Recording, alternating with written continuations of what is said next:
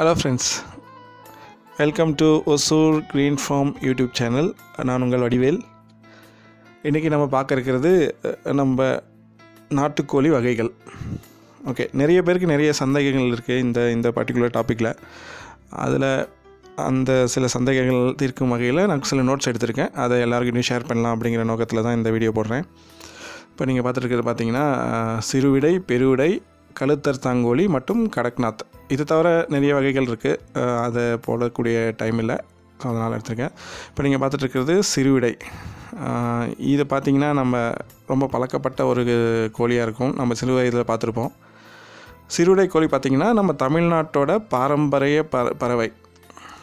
So இதுதான் ஆக்சுவலாக original நாட்டு தமிழ்நாட்டோட நாட்டு பறவை. ஸோ இந்த இந்த இதோட இந்த கோழியோட சுவை தான் இருக்கிறதுலே மிக சுவையான ஒரு மாமிசம் கொண்டது. இந்த கோழியோட முழு வெயிட் பார்த்திங்கன்னா ஒன்றே கால்லேருந்து ஒன்றரை கிலோ வரைக்கும் தான் வரும். அந்த இதில் பார்க்கலாம் இது வந்து ஒரு கிட்டத்தட்ட முட்டை போட போடும் அளவுக்கு வள வளர்ந்துருக்கக்கூடிய விடக்கோழி இந்த கோழியோட அளவு பார்த்தீங்கன்னா ஒரு eight hundred to nine hundred gram இருக்கும்னு நினைக்கிறேன். ப்ளஸ் இந்த கோழியோட முக்கியமான கேரக்டர் பார்த்திங்கன்னா ரொம்ப சுறுசுறுப்பான பறவை. நம்ம இப்படி விட்டுட்டு அதை பிடிக்க முடியாது. ஸோ அந்தளவுக்கு இப்போ இந்த வீடியோவில் பார்த்தீங்கன்னா பயந்துருக்கு. அதனால் அப்படி அமைதியாக நிற்கிது பட் அதர்வைஸ் இது ரொம்ப சுறுசுறுப்பான பறவை. சுவையிலேயே இதுதான் நல்ல சுவை கொண்ட ஒரு பறவை. பாருங்கள் இதோட இது- இதோட சுறுசுறுப்பு தன்மை இன்னும் வர வீடியோவில் பார்க்கலாம்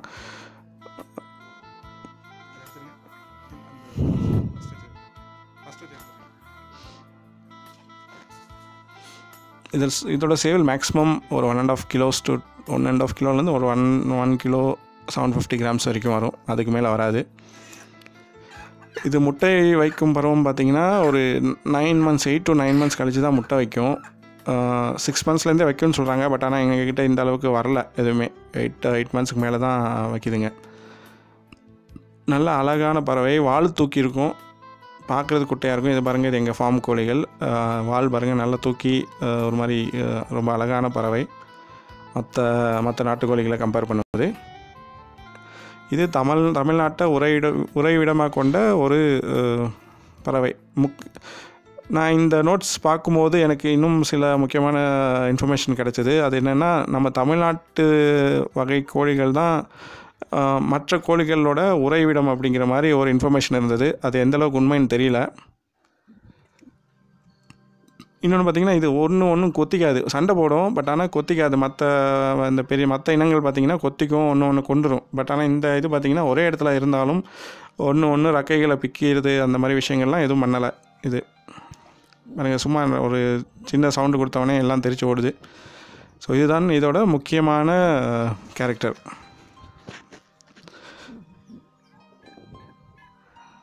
இதோட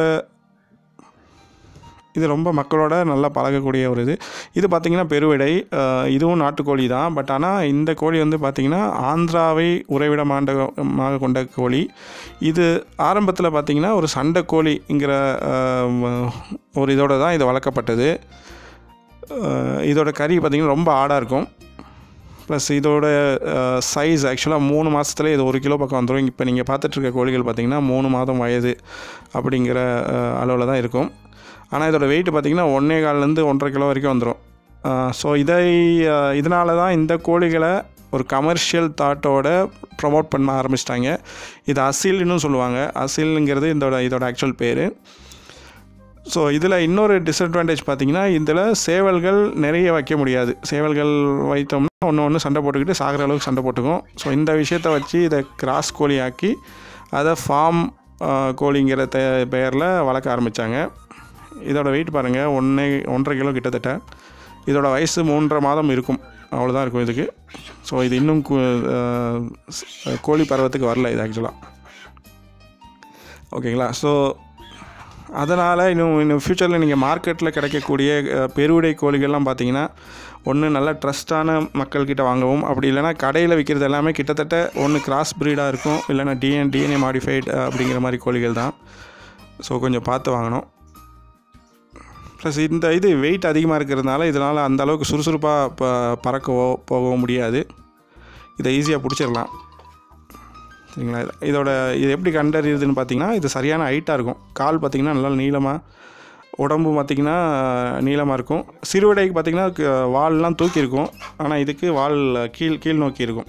ஒன்று இதை விசிறி வால் கிளிமூக்கு அப்படிங்கிற வேறு வேறு பேரில் வேறு வேறு இடத்துல கூப்பிடுவாங்க. அதோட சின்ன சின்ன கேரக்டர்ஸை பார்த்து.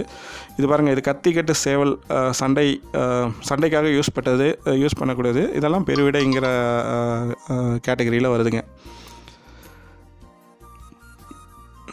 ஸோ இது பாருங்கள் இது ஒரு சின்ன ஒரு இது சிறுவிடை கோழிகள் இதெல்லாம். இதை பிடிக்க ட்ரை பண்ணுறோம் இது பிடிக்கிறதுக்கு இப்போ நாங்கள் சண்டேஸில் லேட் ஆகுதுன்னு சொல்கிறோம் இல்லைங்களா? இது இதனால தான் நாங்கள் இதெல்லாம் பிடிச்சி கொண்டு வரதுக்குள்ளே ரொம்ப கஷ்டமாக இருக்கும். இது உங்களுக்கு ஒரு சின்ன உதாரணம். இது எவ்வளோ சுறுசுறுப்பான பறவை? ஸோ சுறுசுறுப்பாக இருக்குதுனாலே அது வந்து ஆக்சுவலாக ஒரு நல்ல வல் வலிமையான ஹெல்தியான ஃபுட் அப்படிங்கிறத நம்ம தெரிஞ்சுக்கலாம்.